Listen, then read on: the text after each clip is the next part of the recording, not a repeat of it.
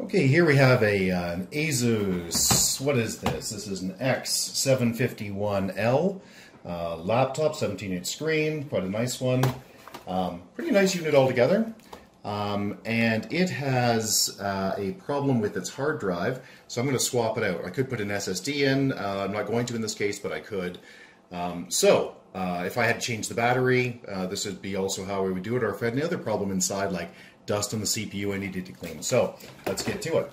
So first thing we're going to do is use a uh, slotted, slotted, geez, sorry, a um, Phillips screwdriver and um, pull these screws out. So I'm going to advance through this. You don't have to sit here and watch me pull out nine or ten screws. Uh, just a note, whenever I take screws out, I always lay them out in the order in which I uh, pulled them out so that I can put them back in in the same order. And I say that because sometimes they're not the same size. So I strongly recommend you do the same thing. Just lay them out on the table in the same order in which you pull them out, and then you'll know which one goes back in which hole. So, again, I'm going to skip through this so that you don't just watch me disconnect all of these screws.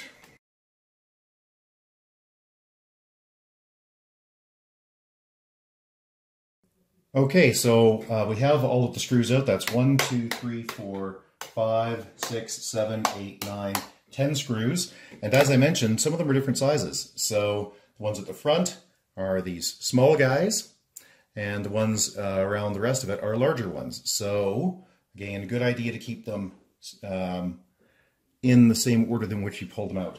Now, uh, often the manufacturers put screws underneath these rubber connectors, uh, these rubber uh, stoppers as well. You just peel them back. Uh, I don't think that that's what they've done here because uh, the screws are close enough to it that it seems unlikely, but it is possible. Uh, sometimes you'll also see them underneath the um, stickers here, and that's because it's way for the manufacturer to tell if you've opened it up. Another thing to, to do is often you have to uh, put a pin in here and pull the DVD out. I don't think we have to do that here, but I'm going to find out. If we do, um, well, let's find, we'll go, go about it. So, what we want to do is grab the edge, probably not the edge with all, probably not the edge with all of these uh, connectors on it. Uh, go to a smoother edge. Probably this edge is best. And uh, what we want to do is pry it out. So you can use a credit card. You can use, um, well, there's a number of different things you can use. But something small uh, and flexible is usually best. In my case, I'm going to use something not flexible, which is this little um, uh, you know, metal tool, I guess. And I'm just going to try to get my, get it under, get this to separate. There we go. You can hear it separating a bit. There we go. Yeah, using something metal is not a good idea, but it just, it's a starter for me. And I'm just going to use my fingers to pry it apart. There we go.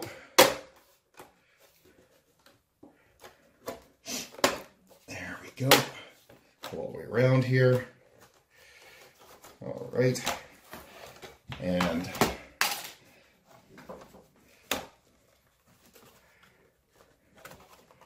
okay what's going to happen at the back here?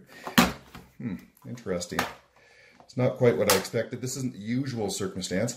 Usually the cover just pops off and the board uh, stays uh, the board stays with the uh, keyboard and the monitor but as you can see here that's not the case. Looks like a lot of the boards coming with it. Looks like the Looks like this design is a two-piece design, which I've not seen in recent years, although it did used to be popular a long time ago. So let's see what we can do to keep prying this out without breaking anything. Okay, so looking at the back here, and the DVD definitely uh, goes with the bottom, which is nice, but I'm a bit surprised I can't seem to get around this. So I'm going to grab card. I'm going to grab a card and I'm going to try to slide it around. That's the normal way to do it. Uh, have, by the way, I have the proper tools to do this stuff, but uh, often enough people don't when they're doing this at home, so I'm trying to do it without it to show you how it's done. Uh, there we go. Yeah. So just use a, an old credit card or some card you don't care about to keep working around the edges. There we go. So that's up a little bit now. And along the back here, I can see that there's, it's almost certainly the battery in there, but I don't see anything in there for me to take out. Again, there could be screws in here, and that is a concern. So, I'm just going to slide that credit card around, and boom, Now that is separated all the way around except here. So I am concerned that underneath this rubber is a screw. I'm going to, although where the battery is probably, so it's very unlikely. But I'm just looking to pull it up and see if there's anything under there just to confirm before I start really wrestling this thing. So let's pull this up and just make sure. No, there's no screw under there, so I can just put that back down. Okay, so now I'm just going to start pulling it off. Starting to get forceful.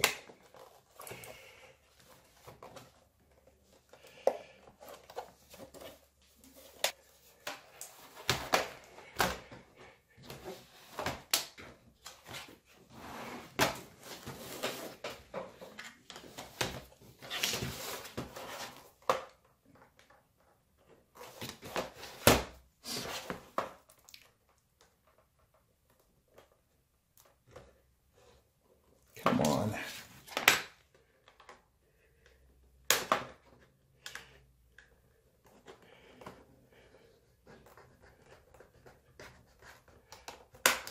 There we go. Got it. So I really had to muscle that thing in. And now it's coming out quite nicely. So what I have to be concerned with, because they've done a split design, which I've not seen in recent years, as I said, is uh, what you've got to be concerned with is that uh, you break a ribbon or something. So let's carefully pull this off.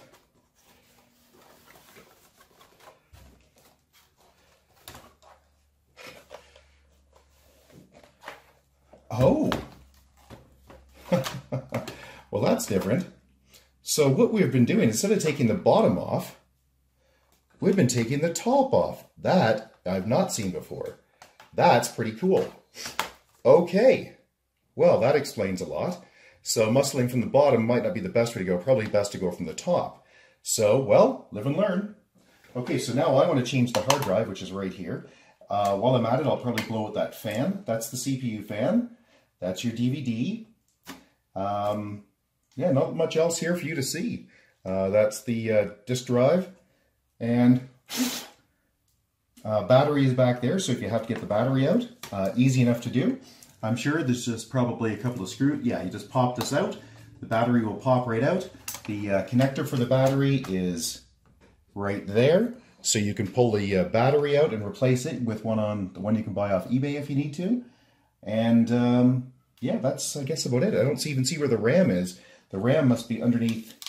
It's probably underneath here. Let's take a little look. Let's see what's underneath here. Or did they solder the RAM right on the board? No kidding. It looks like they soldered the RAM right on the board. Okay. So if I had to guess, I'd say those are RAM chips. So I'm going to put this back down exactly where it was. There we go. And uh, let's get this hard drive out. So the hard drive is pretty easy. I'm sure. Yeah, same as always. And again, I'm going to keep the screws in the order in which I pulled them out so I can easily put them back to get back in. And there we go. Pull the screwdriver apart. You by the way, you don't have to, for this device, you do not have to have uh, jewelry tools. You can use just a standard um, uh, Robert, uh, sorry, Phillips head screwdriver. Okay, so this will no doubt slide out. Yes, it does, so slide it that way, then lift it up, and badingo, it's there. Now I'm going to take the screws of the side,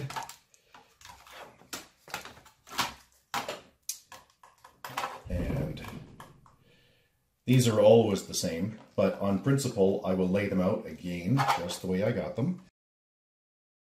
If you drop one or lose it, don't you don't have to worry about it. These are really not necessary in today's world, uh, especially if you're putting a solid state disk in. Um, don't get me wrong, you don't want to lose them. I'm just saying if you if you lose one, don't panic. It doesn't it has nothing to do with the electronics. It has everything to do with stopping the disk from moving around, which uh, is a much bigger deal with spinning disks. Okay, there we go. So that's that one out. And I'm going to put this one in. My little Toshiba. And I'm just going to put it in the same.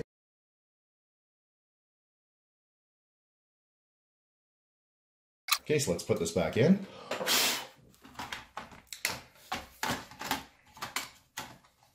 So drop it in the slot. There it is, and then push it back that way so it meets up. There we go. And then put these uh, screws back in in the same order in which they came out. Oddly, this has three uh, screws and four placements for screws. So again, I'm just going to put what the factory did.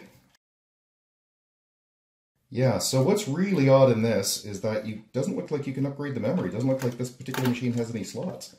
Now, I could be wrong. Maybe it's underneath there, but I don't see them. So, um, but you can easily change the hard drive, as you can see here. And you can blow out the fan, and you can change the battery or the DVD if you so wanted. Okay, let's pop that back on now. Um, uh, I always do things in the reverse order when I'm putting things back together. So the last thing I pulled off is the back. So that's the first thing I'm going to snap in. There we go. Snap it all back.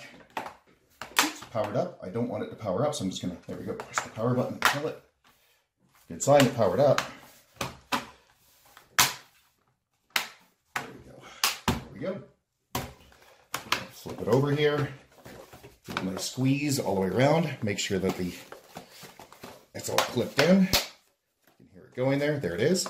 And then let's start screwing this thing down. So, the screw came from the corner. Again, I'm going to advance this so you don't have to watch it and get bored. Okay, so I see here that this hasn't squeezed down properly. Oh, there we go. There we go. So, you don't want to screw it down if it's not clipped in properly you'll be fighting it and you will lose. So yeah, I can see now that that fit, that fit and finish is quite nice. There we go. So let's keep putting these screws back.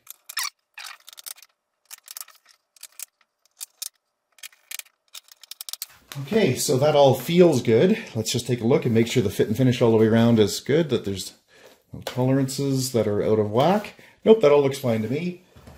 And power, powered up and we should be on our way. So we've replaced the, uh, what is this? Samsung 54 spin, 5400 spin disc with a lovely uh, Toshiba that runs radically faster. And um, that's it. If uh, I wanted to image this at this point, I would take a USB uh, stick and I would use, uh, go to a Windows 10 computer and I would create, I would download and then use the Windows 10 creation, media creation tool to uh, uh, take that uh, USB stick and put the most current version of Windows on it. And then I would plug it into here, have the machine boot off of it, and badingo, this machine would be booting up Windows 10. All right, that's it. If you have any questions, please get a hold of us at www.urtech.ca. Thank you. Bye-bye.